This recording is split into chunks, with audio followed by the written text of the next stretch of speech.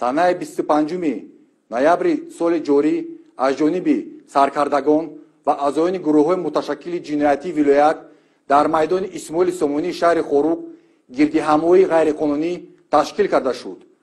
Гирдиҳамоии ғайриқонунӣ рӯзҳои бисту панҷум бисту шашум ва бисту ҳафтуми ноябри соли ҷорӣ идома ёфта. Эътирозгарон талаби вохӯрӣ бо раиси вилояти мухтори кӯҳистони бадахшон ва дигар намояндагони сохторҳои давлатиро карданд.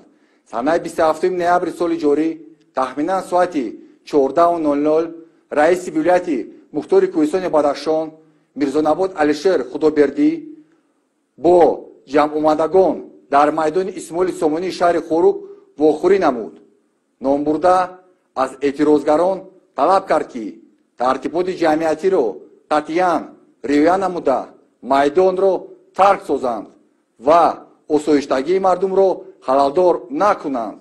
Раиси вилоят дар доираи ваколатҳои худ ба саволҳои иштирокчиёни тазоҳуроти ғайриқонунӣ ҷавобҳои мушаххас дода изҳор намуд ки барои таҳқиқи холисонаи ҳодисаи дар рӯзи бисту панҷуми ноябри соли 2021 ба вуқӯъ омада аз ҷониби прокуратураи вилоят гурӯҳи фаврии тафтишотӣ таъсис ёфта тафтишот идома дорад.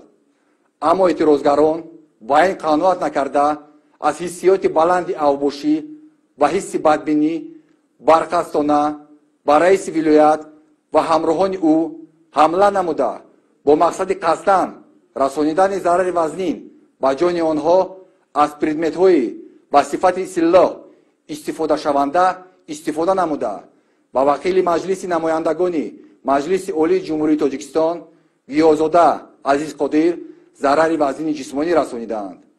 Бо мақсади пешгирии идомаи кирдорҳои авбошонаи эътирозгарон намояндагони мақомоти ҳифзи ҳуқуқ маҷбур шуданд ки аз силоҳ сӯи ҳаво тири огоҳикунанда паронанд.